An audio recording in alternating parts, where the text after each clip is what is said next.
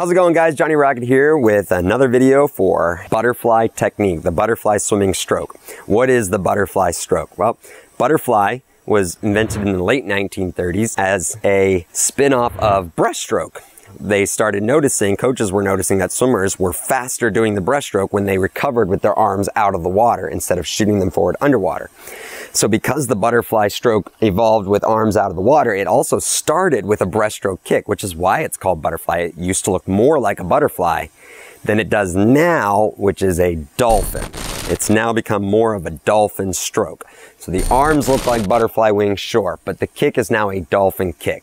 Your legs stay together like they're a dolphin tail or a mermaid tail. So you're kind of like hopping in the water, right? And because of that, butterfly is another short axis stroke, just like breaststroke, which means your body's gonna rotate on an axis that goes across your hips. So you're gonna be rotating up and down instead of side to side like freestyle or backstroke. And because butterfly is a short axis stroke, it's inefficient. It makes it harder. It's like hopping around for transportation rather than walking. Well, we as humans, we prefer to walk. Hopping would get tiring so fast. So just remember, if you've heard butterfly is the hardest stroke or it's an awful stroke, I'm trying to change the narrative a little bit by saying butterfly is just the most inefficient stroke, which means it's going to require more energy to do it well okay? But that doesn't mean it can't be done to an easier degree than what you're currently experiencing. I am going to teach you how to do it the most effective way so that it becomes easier for you. Well, like every stroke, butterfly has three components to it. The head position, or the breath, the pull, the arms, and the kick, legs. We're gonna talk with, about the pull first. When you pull in butterfly, your arms will start out here in the superhero position. Now, this is also where they start for freestyle. For breaststroke, we start with them touching, but for butterfly and freestyle, we start with them in the superhero position. When you pull, you pull both arms together at the same time underneath your body, underneath the surface. Once you get down to your belly, you're gonna wanna sweep out to the side.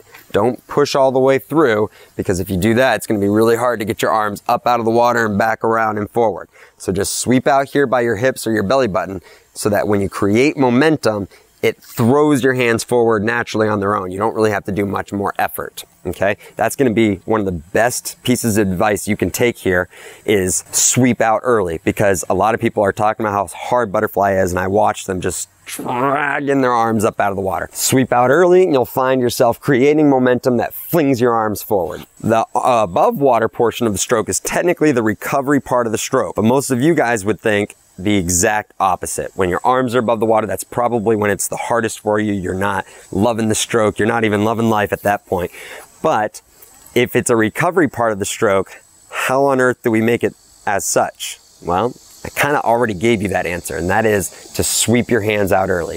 If you aggressively push your hands out to the side and whip them out to the side, there will be momentum created. And because of the way our human body is created, the anatomy of our body, your, our shoulders roll forward. So your hands, if you sw swing them out to the side, they're not going to go backwards.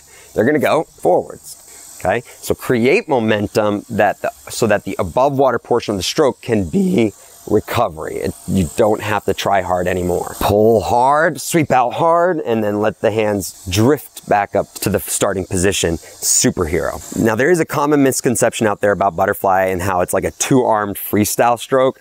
I would recommend against thinking of it that way only because now freestyle has so many finer points that make it unique that it's not necessarily a double arm freestyle stroke anymore. Butterfly is not double arm freestyle.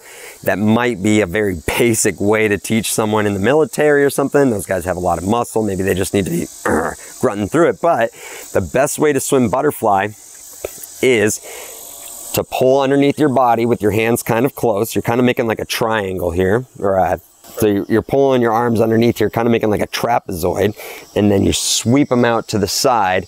They'll fly forward on their own. It's not necessarily a freestyle stroke because your arms are fully extended out to the side. Usually your wrists are pointing forward or your thumbs are pointing forward. You should not have your palms pointing forward. Okay. It's either the back of your hands or your thumbs.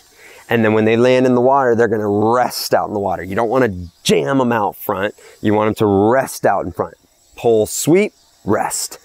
Pull, sweep, rest. When your arms are flying out to the side and they're above the water, they shouldn't be more than six inches above the surface. If they're like a foot above the surface of the water, you're wasting too much energy using your shoulders to pinch back your arms. The second component to the butterfly stroke we'll talk about is the breath. Like breaststroke, you're gonna start your breath when you start your pull and you're gonna breathe in front of you. Remember, freestyle is the only stroke of the four that you breathe to the side. Butterfly, you breathe in front of you. Start your breath as soon as you start your pull. So the moment your hands have movement, have life to them, that's when you lift your head to breathe, right? There. Kind of like you're pulling yourself into the breath.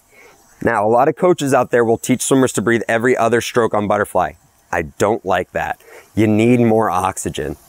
Butterfly is the most inefficient stroke there is, which means you have to work nearly two, three times harder to go the same speed, or you have to put forth more energy just to go the same distance. So just breathe every single stroke on butterfly. Pull yourself into the breath, make the breath part of your technique.